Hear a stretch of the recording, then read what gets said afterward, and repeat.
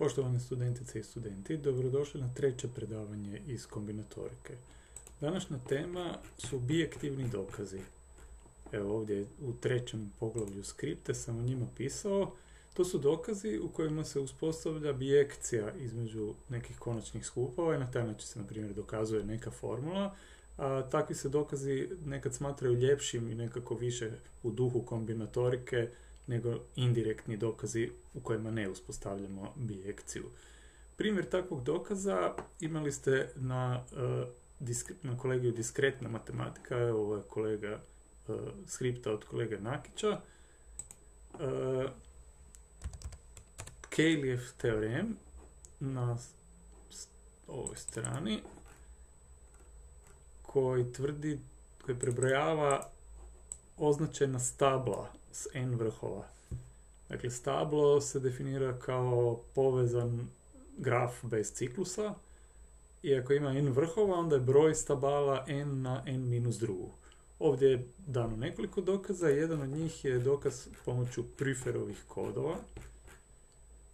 Dakle, tu se uspostavlja bijekcija između takvih označenih stabala i uređenih n-2 torka e, čiji su koordinate elementi od 1 do n, takvih, to se zovu preferovi kodovi, njih očito ima n na n minus drugu, a onda se uspostavlja bijekcija između stabala i takvih kodova i onda to dokazuje da je broj kodova također toliki. E sad, taj dokaz nećemo raditi, nego ćemo raditi neke druge ovaj, slične dokaze.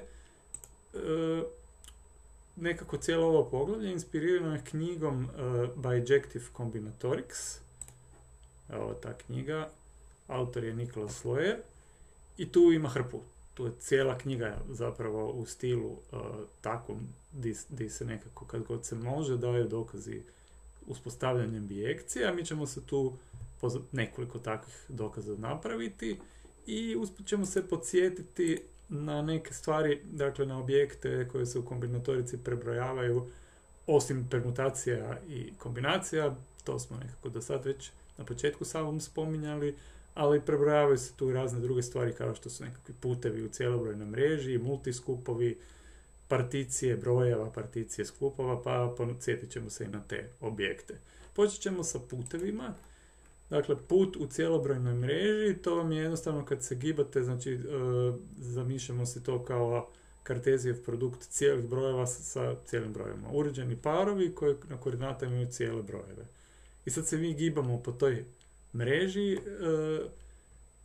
korak je pomak prema desno, gore, lijevo ili dolje, znači možete ići u četiri smjera, i trebate doći od neke početne točke do krajnje točke i to s najmanjim mogućim brojem koraka. Takvi putevi se nazivaju onda najkraći putevi i sad recimo ako uzmete da ova početna točka V0 uh, ima koordinate koje su manje ili jednako od koordinata krajnje točke, to da je najkraći put zapravo znači da idete samo desno i gore. Znači ne, ne idete točno u onom smjeru u kojem trebate ići, ne, napravite, ne radite korake unatrag.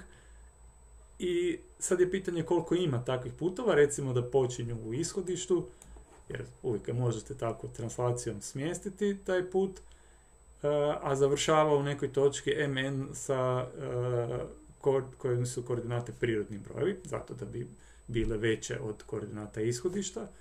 I onda tu piše da je broj najkraćih puteva jednak binomnom koeficijentu m plus n povrh n što je naravno isto kao m plus m, m plus n povrh n zbog simetričnosti. To je zato, evo tu ova slika sve objašnjava, što možemo uspostaviti bijekciju između tih najkraćih puteva i uređenih m plus n torki sastavljenih od m slova d i n slova g.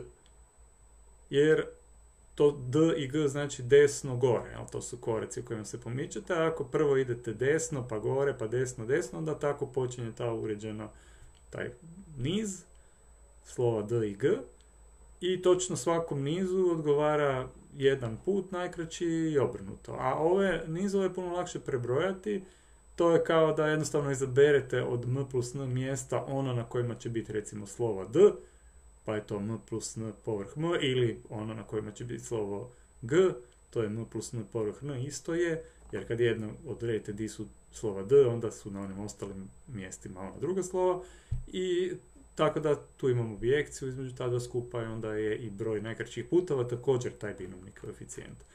E sad, ovo je uh, vrlo lako, a malo je teže prebrojati takozvane dajkove putove. To su najkraći putovi uh, od ishodišta do točke sa istim koordinatama n, n, koji su svuda iznad pravca y jednako x. Odnosno, zapravo točnije mogu biti na tom pravcu, ali ne smiju biti ispod tog pravca. I poznata je stvar da je broj takvih dajkovih puteva jednak n-tom katalanovom broju, koji možemo recimo definirati ovako, kao 1 podijeljeno sa n plus 1 puta binomni koeficijent 2n povrh n. Na prvi pogled možda nije uopće očito da je to prirodan broj, ali to slijedi iz toga što je to broj tih dajkovih puteva, znači tu je očito da je a, broj nekakvih cijelobranih pute, puteva u cijelobranoj mreži prirodan broj. To je sadržaj ovog teorema. Ta se stvar također dokazivala u skripti profesora Nakića, ali ne uspostavljanjem bijekcije, bijekcije, nego indirektno pomoću funkcija izvodnica. A ovdje istu stvar dokazujemo, ali ovaj puta direktno bijektivno. Znači ovdje je taj, binom, taj uh, katalanov broj, binomni koeficijent podijeljen sa n plus 1, ovaj srednji, koji gore ima 2n, a dolje n, is, iskazan malo drugačije. Iskazan je kao 2n povrh n minus 2n povrh n plus 1. To se vrlo lako izračuna da je to jednako. Samo napišete ovaj, definiciju i svedite na zajednički nazivnik i sredite i dobit ćete ovo. A to nam nekako daje ideju kako bismo to dokazali, zato što ovdje imate tu razliku, pa ćemo koristiti princip komplementa. Znači, ovaj prvi binomni koeficijent 2n povrh n, to je ukupan broj najkraćih puteva od 0,0 do nn u cijelobrojnoj mreži. sad tu trebamo oduzeti ovaj drugi binomni koeficijent 2n povrh n plus 1, a to bi značilo da taj mora onda biti kardinalni broj od koliko ima komplementa, skup svih dajkovih puteva smo označili sa pisano d, pa onda d komplement su svi putevi od 0,0 do nn koji nisu dajkovi, to jest spuštaju se ispod tog pravca y jednako x. I ako sad mi dokažemo da je put, da putova koji nisu dajkovi ima točno volko, onda ćemo po principu komplementa dobiti ovu formulu. A to, tu stvar da putova koji nisu dajkovi ima volko, dokazat ćemo uspostavljanjem bijekciju između nedajkovih puteva, ovog skupa D komplement, i skupa P crtica koje definiramo kao skup svih najkraćih puteva od 0,0 do n plus 1 zarez n minus 1. Ovo, takvih puteva u pet crtica očito ima ovoliko po onoj prethodnoj propoziciji. Zbrojite, gore onda dobite 2n povrh, jedan od ova dva n plus 1 recimo. Dakle, to je ovaj 2n povrh n plus 1. E sad, ako mi uspostavimo bijekciju između d komplement i p crtica, onda smo dokazali da i d crtica ima toliko elemenata i gotovi smo. Pozovemo se još na taj princip komplementa. A tu bijekciju uspostavljamo takozvanom Andrejevom metodom zrcaljenja. Naime, mi trebamo definirati e, preslikavanje koje će ne dajkovom putu pridružiti takav proizvoljno najkraći put od 0,0 do n plus 1, n minus 1. I onda trebamo pokazati da je to zaista bijekcija, dakle trebamo definirati neku funkciju. E, nećemo, uvijek kad ćemo dokazivati da su funkcije E, bijekcije, nećemo mi direktno dokazivati da je injekcija i surijekcija, nego ćemo zapravo pokazati da ima inverznu funkciju. To je obično puno lakše ono, uvjeriti se da je nešto bijekcija, tako da se uvjerite da ima inverznu funkciju, dakle da onda postoji i ono, možete se vratiti nazad, e, nego ići direktno pokazivati da je to injekcija i surijekcija. A za domaću zadaću onda dokažete da je to ekvivalentno, da je funkcija injekcija, da je zapravo, to smo mislim već na na početku sam to dao kao jedan od zadataka za zadaću u ostalom. E dobro, znači kako funkcionira ta metoda zrcanja? Pa prvo, e, ako imamo neki dajkov put, on znači silazi ispod ovog pravca, a ako siđe bilo gdje ispod ovog pravca, znači doći će na ovaj pravac koji ima jednadžbu y jednako x minus 1, to je taj pravac koji je za jedan pomaknut prema dolje u odnosu na ovu simutralu prvog i trećeg kvadranta. I sada taj nedajkov put znači mora negdje dotaknuti taj pravac y jednako x minus 1, uzmemo zadnju točku u kojoj ga je dotaknuo, jer on ga može i na više mjesta dotaknuti, on može malo ovak, pa se vratiti ore, pa onda se opet spustiti ispod, tako da on može na nekoliko točaka dodirivati taj pravac, a ova x i y uzmemo da je to zadnja točka u kojem naš nedajkov put dodiruje taj pravac. I naravno onda će on znači završiti kao gledamo sad te putove od 0,0 do NN, on će završiti ovdje, ali sad ovdje više neće, ovdje u ovom dijelu do kraja neće više dirati ovaj pravac. Sada mi taj dio od x i y do nn zrcalimo obzirom na taj isti pomaknuti pravac y jednako x minus 1. Na taj način će naravno, on, budući da je ovdje dotaknuo, taj dio ostaje, ovo će sad zrcali, to je simetrično obzirom na ovaj pravac naravno onda će ova zadnja točka koja je bila nn preći upravo u ovu n plus 1, n minus 1 koju smo e, proglasili da, da su tu putevi od ishodišta do te točke da su to je to pet crtica. Znači dobit ćemo jedan put od ishodišta, ovaj dio nismo mijenjali, on je počeo od ishodišta pa i dalje ide iz ishodišta, do ovdje je nepromijenjen, samo smo ovaj dio zrcalili, time smo krajnju točku preslikali iz nn u n plus 1, n minus 1 i time smo dobili zaista put iz pet crtica. To je samo dokaz da je to dobro definirana funkcija. Znači zaista da ide sa d komplement u pet crtica. E sad se još treba uvjeriti da je to bijekcija. A to slijedi zato što se možemo vratiti. Znači, ako uzmete bilo koji put iz pet crtica, on počne ovdje i završi ovdje. Taj put također mora sjeći pravac y jednako x minus 1. Jer je ova točka s jedne strane, ta ishodište je s jedne strane tog pravca, a ova krajnja točka je s druge strane. Znači, on mora, ne može preskočiti, pa mora negdje zasjeći. I ovaj put možda na više mjesta zasjeće taj pravac, a uzmemo to zadnje, zadnju točku u kojoj taj uh, put iz pet crtica sjeće pravac y jednako x minus 1 i onda taj zadnji dio opet prebacite, zrcalite preko i naravno na taj način ste ponovo dobili Dajkov put koji završava u nn, a ide ispod ovog y jednako x jer ova točka se nije pomakla, znači on je negdje tu je bio ispod. Dakle, nije Dajkov put, ide od 0,0 do nn. Tako da smo uspostavili bijekciju. Aha, trebalo bi još komentirati da kad ponovite u bilo kojem redoslijedu, znači uzmete nedajkov put, privacite ga u put pet crtica i onda ga vratite nazad, dobit ćete naravno isti, radite istu stvar, samo zacalite taj zadnji dio i u obrnutom smjeru ako krenete. Dakle, to su bijekcije, nedajkovih puteva ima isto toliko kao puta u pet crticu, a to smo rekli da je n plus 1, da je 2n povrh n plus 1. I time je taj dokaz završen i taj je dokaz vjerojatno jednostavno, pa neću reći jednostavniji, ali ajmo reći elegantniji. Malo je pitanje kako bi se čovjek toga sjetio. Ali obično je kod tih bijektivnih dokaza kad vam ga neko pokaže, onda je sve jasno i super, jedino što je pitanje kako se to čovjek sjeti. Pa obično ga se sjeti naknadno. Obično dođete do toga da se da imate neku formulu i nekako indirektno dođete do nje, a onda naknadno prokljuvite da zapravo ste mogli puno lakše jednostavnije. Recimo nama se to desilo u jednom od ovih primjera ranije. Ne znam sad točno gdje smo bili. Negdje kod onog osnovnog prebrojavanja. Sam vam nešto dokazao relativno komplicirano. A, budem pronašao taj primjer ovdje koliko ima šestero znamenkastih prirodnih brojeva s neparnim brojem neparnih znamenaka. Tu sam koristio svašta, to sam se mučio, prebrojava, a onda na kraju smo došli do toga, i tu smo čak i s kompjuterom, da je formula vrlo jednostavna.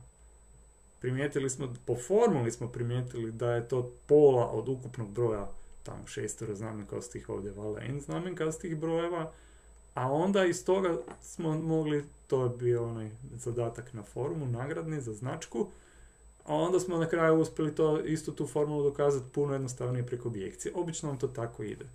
Obično kad imate neku formulu, neki rezultat iz kombinatorike, onda ga naknadno idete dokazivati bijektivno, a često se isto tako ono, ima nekih rezultata u kombinatorici gdje je kao poznata formula za nešto, ali onda se kaže, e, ali nije poznat bijektivni dokaz. Pa ko nađe bijektivni dokaz, isto ga ima pravo objaviti jer je to smatra kao ljepšim dokazom. Mislim, obično su ljepši i jednostavniji, ali mogu te bijekcije nekad biti i dosta komplicirane, kao što ćete vidjeti. Dobro, ova Andrejeva nije bilo tak strašno. Ok, idemo se vratiti. Znači, to su dajkovi putevi. E, o katalanovim brojevima se, naravno, to ste vjerojatno radili, zna da zadovoljavaju ovu rekurziju. Tu je ta rekurzija isto, mislim, bilo bi dosta teško dokazati tu rekurziju direktno za brojeve definirane ovim formom, ali za dajkove puteve nije to tako teško, pa preko te kombinatorne interpretacije se to tu napravi. Dokaz vam neću sada tu tumačiti jer ste ga vjerojatno već vidjeli na diskretnoj matematici ili kombinatornoj diskretnoj matematici, a u biti isto ima neke, ja sam tu sad naglasio ovo kao taj dio gdje se uspostavlja neka bijekcija, di, ali nije, to možda se nije ni toliko naglašavalo u tom dokazu kad ste ga prvi put susreli. A inače su katalanovi brojevi poznati po tome da nije to samo broj dajkovih puteva, nego to ima jako puno kombinatornih interpretacija.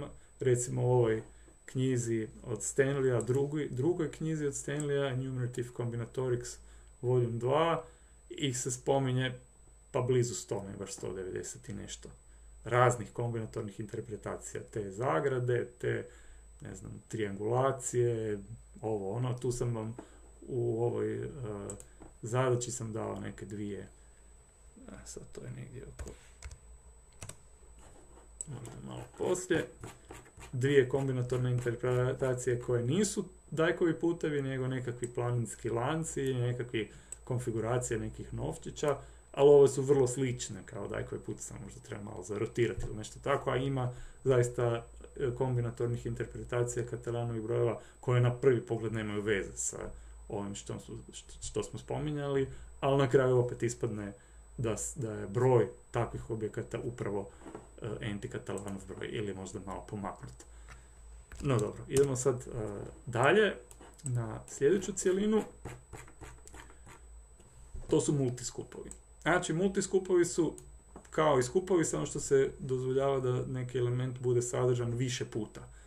To se zove onda kratnost tog elementa. Recimo, ovo je multiskup koji ima S različitih elemenata, A1 do AS, to su međusobno različiti elementi, ali A1 se javlja K1 puta, to je njegova kratnost, A2 K2 puta i tako dalje.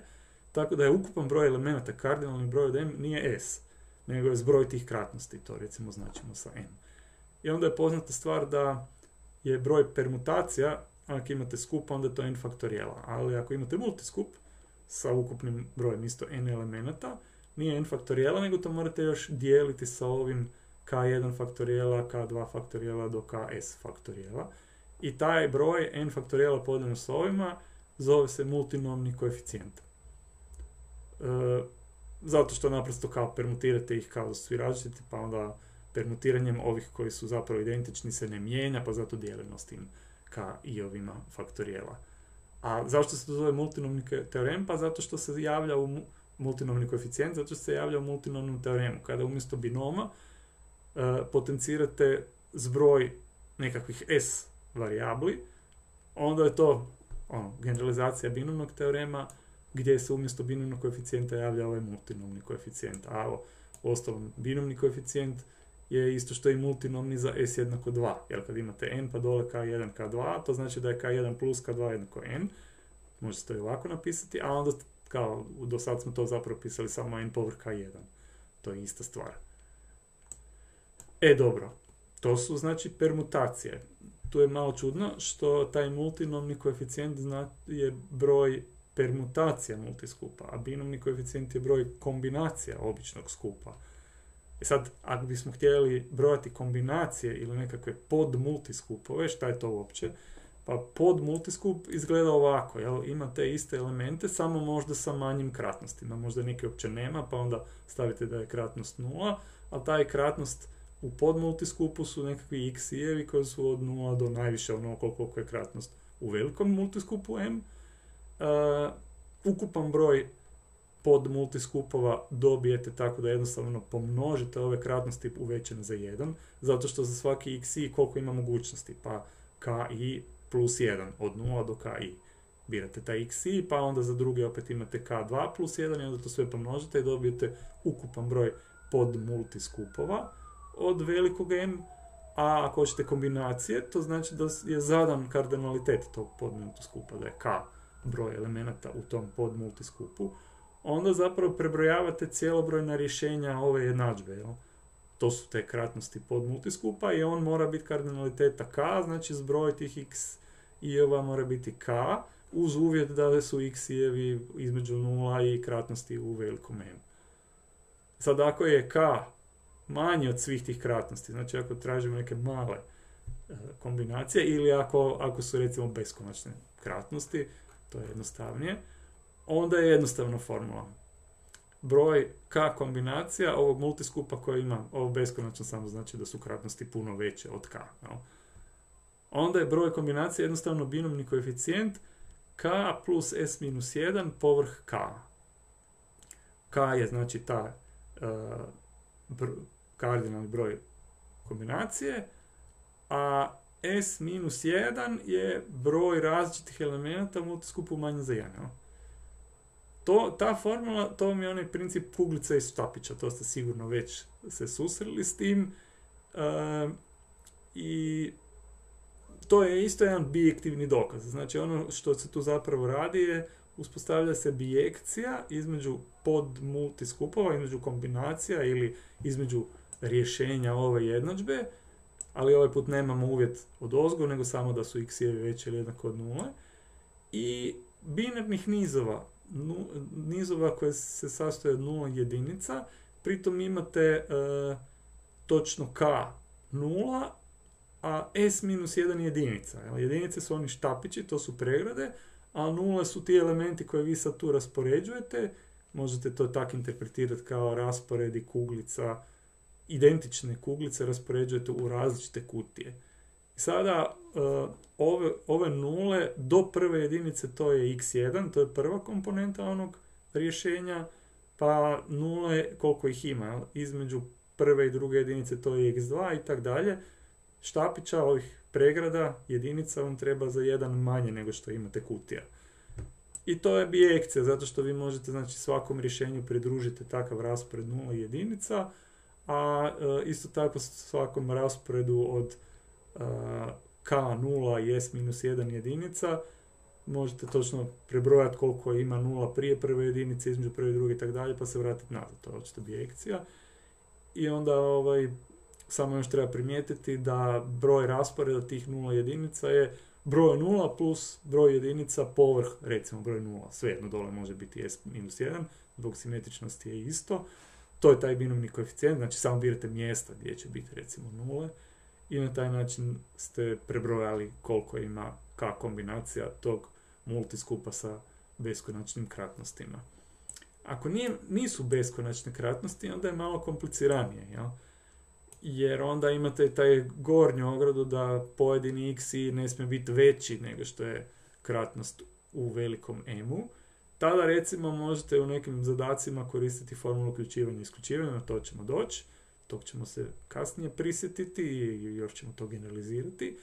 Ili funkcija izvodnice. Evo, funkcija izvodnice za k kombinacije ovog multiskupa je zapravo polinom. Polinom koji se sastoji kao imate ove sume potencija od x od 0 do k prve, pa onda to množite sa sumom potencija od 0 do k druge i tak dalje. I onda vam nekako kombinatorika kako se računa sad što bi bio koeficijent uz x na k, pa birate ono, jedan član iz ove sume, jedan član iz ove sume, šta znači ti članovi, pa ako izaberete recimo x na i iz ove sume, onda znači da je kratnost od e, prvog elementa a i upravo taj i. A1 ima kratnost i, potencija, eksponent uz, od x-a koji ste izabrali za ove prve zagrade, znači zagrade odgovaraju tim, imate s zagrade i one odgovaraju na međusobno različitim elementima. I onda ovaj broj načina na koji možete dobiti x na k je upravo broj takvih pod multiskupa, a ovdje se sama, sam polinom brine da vam ne možete izabrati više od k1 kratnost za prvi element, jer do, do tud ide suma. pa to nekako ono kombinatorno opet objašnjava zašto je koeficijent uz x na k u ovom polinomu upravo jednak broj k kombinacija ovog multiskupa. Ali dobro, opet vratit ćemo se kasnije na e, funkcije izvodnice pa ćemo se tamo još prisjetiti toga. Još jedna stvar koju možda ste susreli, možda niste, su particije prirodnih brojeva. Kad se kaže, znači tu treba razliku od particije brojeva, od particije skupova. Kod ovdje su particije brojeva. Particija broja jednostavno, možemo ovako neformalno reći, prikaz tog broja, prirodnog broja n kao sume nekih prirodnih brojeva. Pritom nije bitan redoslijed sumanda. Možemo pretpostaviti da su sumandi ovi mi 1 do mi recimo silazno sortirani, a suma mora biti upravo taj n. Sad, broj tih pribrojnika nazivamo uh, duljinom particije, a sumu, n, obično nazivamo površinom particije prirodnog broja. To je jednostavno takav uređena entorka, silazno sortirana prirodnih brojeva koji u sumi daju n. Naprimjer, ako imate broj 5, njega možete napisati kao 5, to je suma od jednog člana, 4 plus 1, 3 plus 2, 3 plus 1 plus 1 ili 2 plus 2 plus 1, pa onda 2 pa 3 jedinice ili 5 jedinica. To su sve moguće particije i ako označimo broj particija prirodnog broja n sa p od n, onda sad vidimo da ih ima 7 je ovdje. Prebrojite koliko ih ima, pa je p od 5 7. A nekad se isto tako uh, prebrojavaju koliko ima particija zadane duljine sa zadanim brojem pribrojnika, to označavamo sa PNK, tako je ovdje P511, jer samo na jedan način možete tu sumu napisati od jednog pribrojnika, ovdje P52 je 2 jer imate ovdje dvije sume, 4 plus 1 i 3 plus 2, pa onda P od 3 je opet 2, ovo su duljine 3, i imate još po jednu duljine 4 i jednu duljine 5. Sad ako zbrojite sve te PNK-ove za K od 1 do N, onda ćete dobiti ukupan broj particija, znači ovo je očito da je suma po K od 1 do N PNK jednako PN, a particije si vizualiziramo takozvanim Ferrerovim dijagramima. Evo ovdje je Ferrerov dijagram ove particije. Vidite da on u prvom redku ima 9 kvadratića, u drugom redku ima 7 kvadratića, jer to je druga komponenta, pa ima 3, pa 2, pa 1, pa 1. Obično se to ovako, znači ovo tu uh,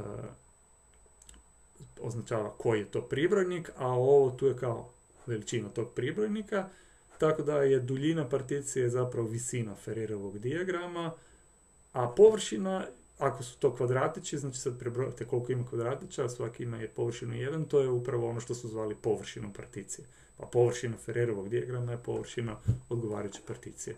Ovdje dolje je slika svih Ferrerovih dijagrama za one particije broja 5 koje smo tamo prebrojavali, pa evo, tu su vam slike.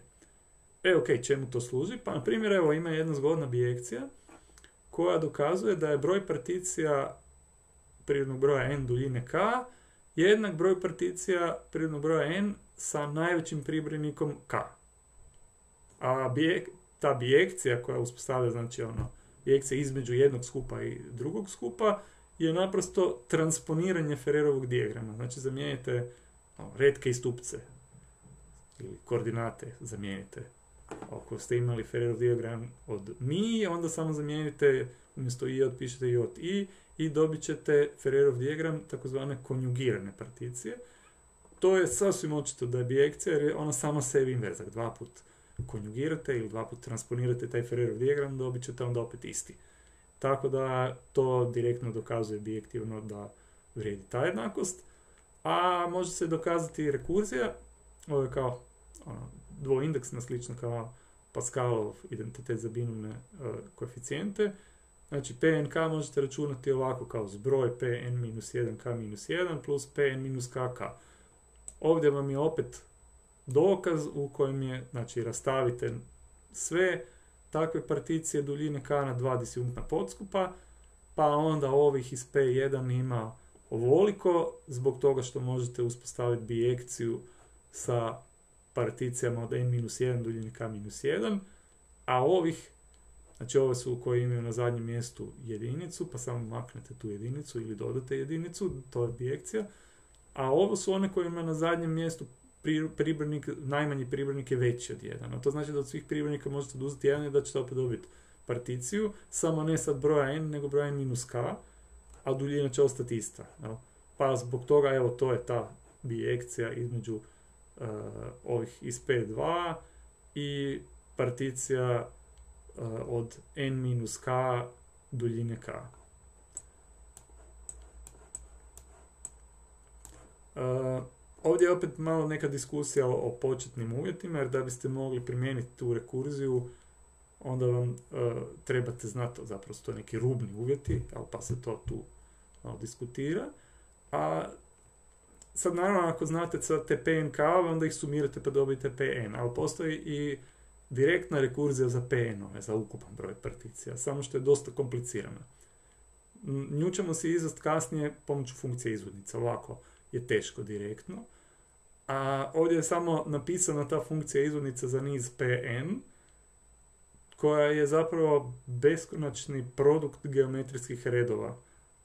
Ovo je ovaj geometrijski red sa kvocitom x, pa geometrijski red sa kvocitom x na kvadrat, pa sa x na treću i tak, tako ih beskonačno pomnožite. To da to uopće smijete takvu beskonačni produkte i beskonačne sume raditi, to ćemo opravdati kad dođemo do funkcije izvodnica. Ispričat ću vam tu cijelu teoriju o tome. A ovdje je opet samo kombinatorna interpretacija. Zašto je koeficijent uz x na n kad biste te ono, formalne redove potencija množili jednak pn. Pa to vam je kao iz prve zagrade birate koliko puta ste u particiji upotrebili jedinicu, iz druge zagrade koliko ste upotrebili dvojku, ovdje koliko ste puta upotrebili trojku i tako dalje. Onda kad to sve pomnožite, ne dobijete upravo broj particija koja se sastoji od neke sume jedinica, dvojke, trojke i tako dalje. Pa, o tom potom, vratit ćemo se na funkcije izvodnice. E, sad kad smo bavili particije brojeva, sad particije skupova. Particija skupa je rastav tog skupa na disjunktne neprazne podskupove. Znači imate nekakvu familiju podskupova od velikog S koji su međusobno disjunktni, presjek bilo koja dva je prazan skup, neprazni su, nijedan od njih nije prazan skup, a unija im je cijeli skup S. To se zove particijom. I to je u uskoj vezi sa relacijama ekvivalencije. Znate što je relacija ekvivalencija? To je binarna relacija koja je refleksivna, simetrična i tranzitivna. Jer to opet postoji bijekcija između ovih particija i e, relacija ekvivalencije. Najkraće rečeno, e, particija se uspostavlja tako da vi e, relacije ekvivalencije pridružite particiju na klase ekvivalencije. Tu vam piše na to se podsjetite.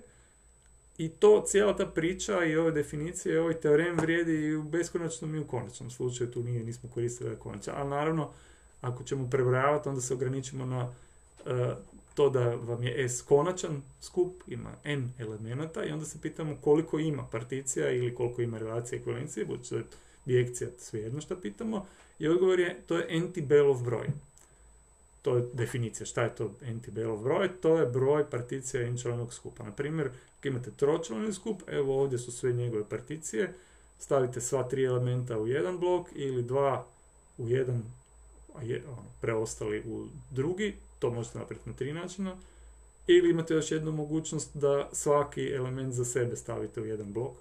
Ti podskupovi od kojih se sastoji particija zovu se blokovi particije. Tako da ukupno imamo pet particija, isto toliko naravno relacija ekvivalencije na tročnom skupu, pa je treći belov broj jednak pet. Obično se kao dogovor je da nulti belov broj je jedan. Zato da bi ova rekurzija štimala. Tu je dokazana, to je isto nešto što se radilo na rednoj matematici, pa ću ja to sad ubrzat. A pozabavit ćemo se malo dublje sa Stirlingovim brojevima druge vrste. To se definira kao broj particija enčlanog skupa koji se sastoje od k blokova. Označavaju se zapravo Knut ih u svojoj knjizi tako označava, meni se to najviše sviđa, ima i drugih oznaka, kao n povrh k, samo ne stavite ono oble zagrade, nego vitičaste zagrade, na taj način kao ono, oni se sastoje od, particije se sastoje od skupova, od blokova, pa onda zato su tu sad vitičaste zagrade, a po svemu su one dosta slične, vi ćete da ćemo stalno ići na tu analogiju sa binomnim koeficijentima, pa onda mi se zato sviđa ova notacija. n povrh k u vitičastim zagradama je znači broj particija n-članog skupa koje se sastoje od k blokova. Na primjer, tamo gore smo prebrojavali 3 povrh 1 Stirlingov broj druge vrste je 1, zato što možete samo na jedan način napraviti particiju koja ima jedan blok. To ne vrijedi samo za tročlan, nego za bilo koji skup. Sve stavite u jedan blok i gotovo. Isto tako, n povrh n, ovaj je 1, jer samo na jedan način možete napraviti particiju koja ima n blokova. Tako da svaki element od tih n stavite sam za sebe u blok. A recimo ovdje 3 povrh 2, Stirlingov broj druge vrste je 3, jer smo tamo imali te 3 particije. 1, 2 u jednom bloku, 3 u drugom, ili 1, 3 u jednom bloku, 2 u drugom, ili 1 sam za sebe, 2, 3 u drugom bloku. I sada je opet očito da ako sumirate, dobro ovdje je dokazan kao neki mali zadatak, da je n povrh 2, kao što je n povrh 1 i n povrh n uvijek 1, tako je n povrh 2 uvijek 2 na n tu minus 1. Zato što se zapravo particija od dva bloka sastoji od nekog podskupa plus njegovog komplementa, jer morate sve što nije u A mora biti u njegovom komplementu. E sad, za izabrat broj A, odnosno skup A, imate 2 na n tu minus 2 mogućnosti. To je zato što ne smijete za A izabrati niti prazan skup, jer to su neprazni blokovi, ali ne smijete izabrati ni cijeli skup S, jer će onda njegov komplement biti prazan. Ni on ne smije biti prazan. E sad, ako ste izabrali A, onda je taj A komplement jednoznačno određen. Međutim, to još treba podijeliti s dva, zato što je svejedno šta je A, šta je A komplement. Tu smo sad birali A, pa smo time kao odredili ovo, ali svejedno da li ste prvo izabrali A, pa onda ste tim odredili njegov komplement, ili ste tu, znači svaki, svaku particiju zapravo brojali dva put, pa to sad još podijelimo sa dva, ovo, pa onda dobijete dva na n minus prvu, minus 1 i to je taj. A ono što sam počeo pričati, da kad sumirate te Stirlingove brojeve druge vrste po k, da onda dobijete Belov broj. Jer kao, koliko ima particija inčelanog skupa koji imaju ili jedan blok, ili dva, ili tri, pa ono koliko ih ima ukupno, a to je Belov broj. Tu smo e, koristili, dogovor je da se uzima da n povrh 0, 0, osim 0 povrh 0 je 1. To se slaže sa onda s onim da je B0 jednako 1 s tim dogovorom. I onda kao, kao što smo, kad smo zbrajali binomne koeficijente, znači koliko ima k kombinacija, za k od 0 do n dobili ukupan broj podskupova, to je 2 na n, tako i ovdje. Ako zbrajate Stirlingove broje druge vrste po k, dobit ćete ukupan broj particija, to jest Belov broj. A i ona Pascalova formula za binomne koeficijente, ovdje tu treba n povrh k, to je tip filler kog će ispraviti. Isto ima svoj analogon za Stirlingove brojeve druge vrste, naime vrijedi da je n povrh k u vitičastim zagradama jednako n-1 povrh k minus 1 plus k puta n-1 povrh k. Znači ovdje se samo mijenja to da ovaj drugi dobije još faktor k napred. Dokazuje se opet analogno kako smo se dokazivala ona Pascalova formula. Pa tako da sve k člane podskupove ovim skupa podijelite na dva disjunktna ono, dijela. U jedan stavite one koje recimo sadrže n, takvih ima ovoliko, n minus 1 povrh k minus 1, zato što ako sadrže n, onda još od preostalih morate izabrati k minus 1. A u drugi dio stavite one koje ne sadrže n, a to je kao da ste od n minus 1 izabrali njih k, pa to zbog toga ovdje. E sad ovdje je malo kompliciranije, samo ovaj drugi dio je malo kompliciraniji, Isto tako rastavimo sve particije koje se sastoje od K blokova na P1, u njega stavite uh, one particije koje imaju ovu sad N ne kao element, nego kao jedan, jednočlan skup N, ili je ili nije blok. Ako je blok, stavite tu particiju u P1, ako nije, onda stavite u P2. Za ovaj P1 je očito da ima ovoliko elemenata, jer to znači da sad preostalih n-1 elemenata ovog ste već pokrili, imate ih još n-1, a trebate ih particionirati na k-1 blokova jer jedan blok već imate. To je ovaj, ne. E, a ovaj drugi dio je malo kompliciraniji. Zašto sada ovaj P2? To su particije u kojima n nije blok, sam za sebe. Zašto ih ima ovoliko? Pa najkraće rečeno to radimo ovako.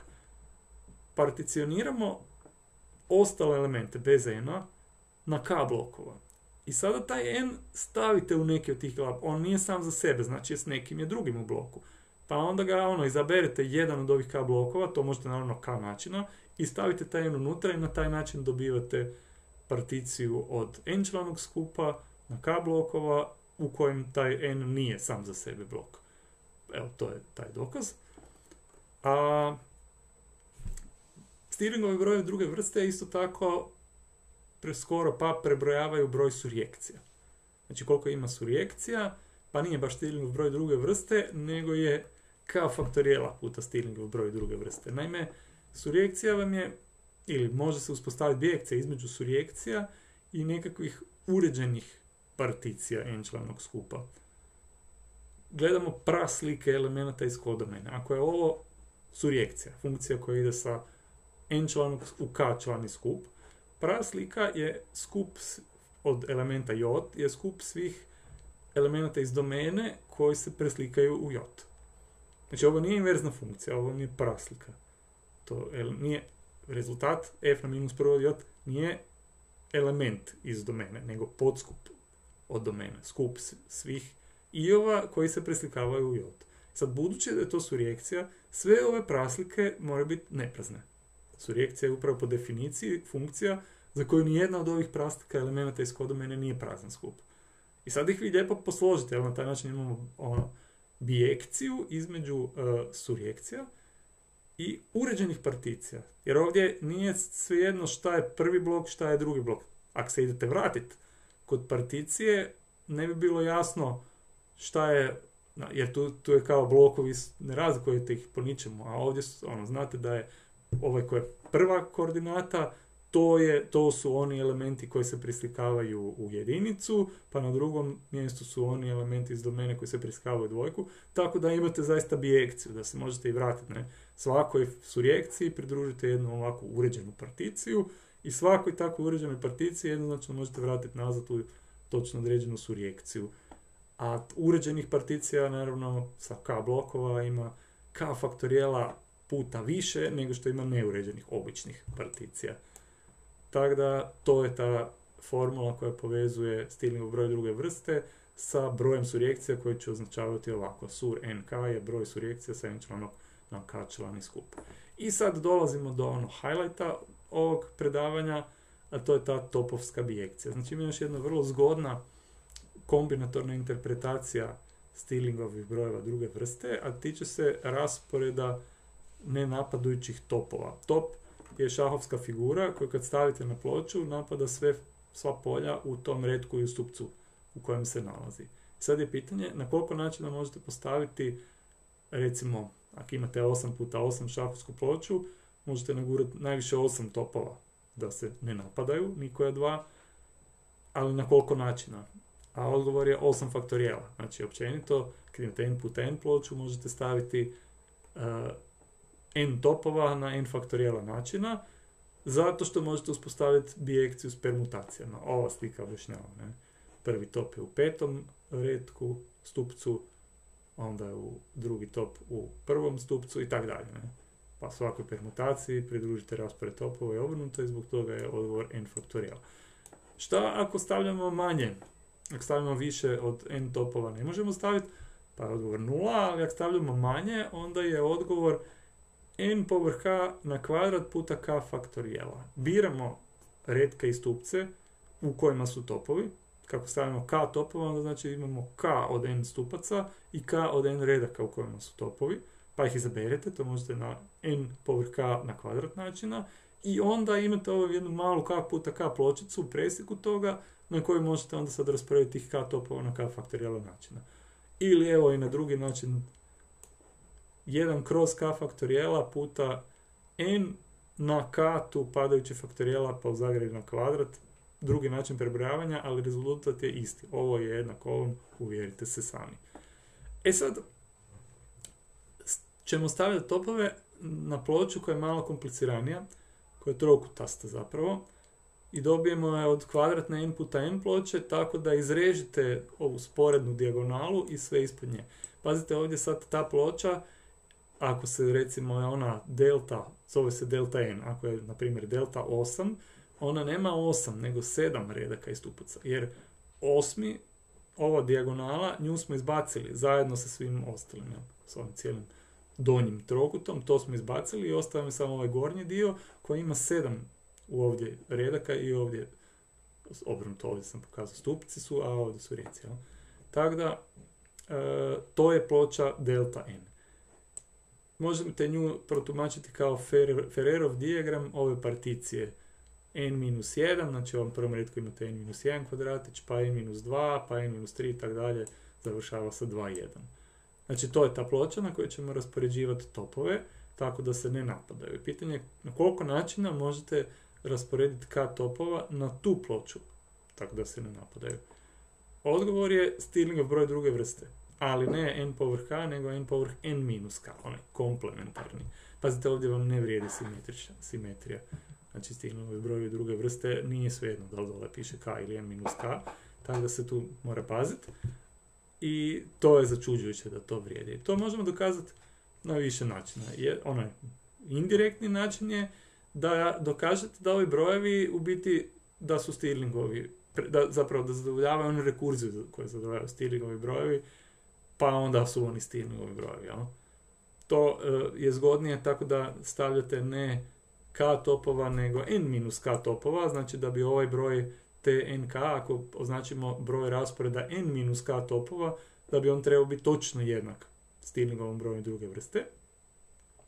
Pa onda pokažete sad da taj TNK, koji definiramo kao broj rasporeda n minus k topova na tu ploču, zadovoljava tu istu rekurziju, to sad neću tu raditi, a opiše vam sve. Znači da vrijedi ova ista rekurzija kao što je vrijedila za Stirlingove brojeve druge vrste i početni uvjeti, isto bi trebalo to provjeriti, a onda znači da ti brojevi moraju biti isti kao Stirlingove brojevi druge vrste kad zadovoljavaju istu rekurziju s istim početnim uvjetima. E, a ona zanimljivija dokaz je bijekcija. Bijekcija između particija, to je ono kako smo mi definirali šta prebrojavaju Stirlingove broje druge vrste, i rasporeda topova na takvoj trokutastoj ploči. I to se radi ovako. Dakle, prvo si označite redke i stupce malo drugačije. Na ova mjesta te ispiljene dijagonale napišite brojeve od 1 do n, ovdje 10 puta 10 ploča, i to od ozdola prema gore. Sad ste zapravo svaki redak i stupac označili, prvi redak je označen ne sa 1 nego sa 10, jel? kad gledate koji je broj tu, drugi redak sa 9, treći sa 8 i tako dalje. Ovaj zadnji je označen s 2, u ovom koji je označen s 1, njega nema, tu nema pločica, a stupce se označili zapravo redom, prvi stupac sa 1, drugi sa 2, treći sa 3 i tako dalje, do n-1 kad bi radili sa n puta n pločom.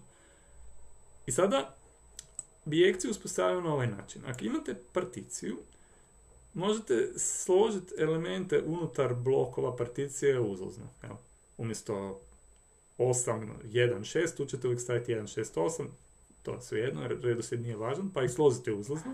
I sad gledate susjedne parove, znači unutar istog bloka, ovdje imate susjede 1 i 6, 6 i 8.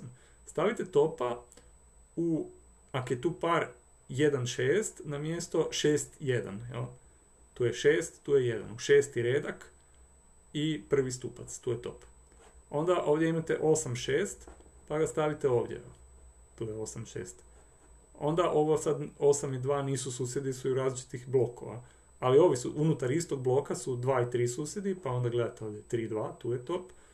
Pa 5 i 3, tu je top i tako na sva mjesta ovaj blok e, veličine 1 vam neće dati, tu nema susjeda, pa onda vam on neće nijednog topa dati. I onda sad bi trebalo malo razmišljati, vi razmislite da ćete na taj način definirati prvo da će biti točno k takvih parova, znači da ćete postaviti točno k susjeda, ako ovdje u particiji imate n-k, jer uspostavljamo objekciju između particija koja se sastoji od n-k blokova i rasporeda k topova. Znači, ako u particiji imate n-k blokova, da onda tih parova susjednih elemenata unutar blokova imate točno k. Tako da ćete postaviti k topova. Isto tako razmislite zašto smo topove postavili tako da se ne napadaju. To vam dokazuje da je to dobro definirana funkcija. Do sada još ne da je bijekcija. Da bismo se uvjerili da je bijekcija, trebamo se uvjeriti da se može ići u rikvrc. Da možete svakom rasporedu topova pridružiti e, jednu particiju. A to radimo tako da jednostavno krenete, na primjer, od jedinice. Svaki broj od ovih od 1 do 10 ili od 1 do n općenito se nalazi u nekom bloku particije. Pa u kojem bloku se nalazi jedinica? Krenete po stupcu. Znači, jedan, evo tu topa u šestom redku. Pa šesticu dodate u taj blok. A onda sad dalje, šestica ima u svom stupcu u osmom redku top, pa dodate osam. Osam nema u stupcu niš i time onda zatvorite prvi blok. Znači prvi blok se sastoji od 1, 6 i 8. Drugi blok, uzmete neki stupac koji do sad nismo iskoristili, recimo dvojku. Dvojka, evo topa odmah ovdje, je sljedeći element je 3. Pa onda 3 ima ovdje top 5 i ovdje je top 9. 9 nema u svom stupcu ništa, pa smo time zatvorili blok. Znači 2, 3, 5, 9 je drugi blok particije. Nismo iskoristili 4, a 4 nema niš u svom stupcu, pa je onda on sam jedan u bloku. A još nisu pokriveni 7 i 10 i oni vidite kao što je tu ime topa, pa onda njih stavite skupa. Na taj način svakom rasporedu topova možete pridružiti particiju, uvjerite se da, da štima, da, da će ta particija imati točno n-k blokova ako krenete od rasporeda k topova i da su te, ta dva pridruživanja jedno drugom inverzna. I onda smo gotovi. Time smo dokazali da je broj uh, rasporeda k topova na takvu ploču delta n jednak broju particija uh, n članog skupa na k, n minus k blokova. Tu je ta topovska bijekcija. A to je za danas, mislim, za ovo predavanje sasvim dosta, a još u, za, da biste se bolje pripremili za onaj kratki test, pogledajte malo zadatke. Recimo, dobro, ovaj prvi zadatak, tu se uspostavlja neka bijekcija, ovaj drugi zadatak su katalanovi brojevi, koje, kombinatorne interpretacije koje su dosta slične kao ono. Ovo si svako to riješite, nešto tako ću vam dati to. Znači, treći test će biti opet klikanje, pa ono, ograničeno je šta mogu dati. Ne mogu vam dati dokažete nešto, jer to malo bedasto sa izaberite točan dokaz od pet ponuđenih ali zato vam mogu dati da li ste razumjeli neke od ovih dokaza. Znači, ono što ću vam dati sasvim sigurno, mogu najaviti, je topovska bijekcija. Dat ću vam jednostavno neki raspored topova, pa vi morate reći koja je to, koji to particiji odgovara ili obrnuto. Da vam particiju, pa vi morate reći kojem rasporedu topova ta odgovara, a tako mogu testirati, na primjer, i onu bijekciju iz onog prvog dokaza o dajkovim putevima, on Andrejov princip zrcaljanja, ili nešto, nešto od ovih bijektivnih dokaza na taj način mogu testirati, a od zadataka, znači ono pravi zadaci, evo recimo lani na kolokviju sam dao ovaj zadatak, 3-4.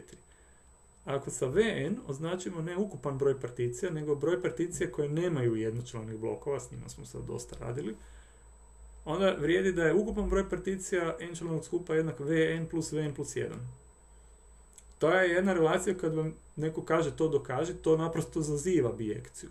Zato što vi očito skup svih particija n skupa možete podijeliti na one koji nemaju jednočlanih blokova, njih ima Vn, i one koje imaju jednočlane blokove.